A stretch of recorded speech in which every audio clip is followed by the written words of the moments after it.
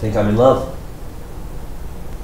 Okay, maybe it's not love, um, but I just met this amazing girl today. She's so pretty and sweet and um, hopeful. Oh, she's really great, guys. She was so inspiring and pure, and I'm pretty sure she was singing. And yeah, that was weird. anyway, got me thinking about things. Um, maybe I shouldn't just you know, wait people to do something about the injustices of the world. Maybe I shouldn't just sit by and wait for something to happen. Or maybe not.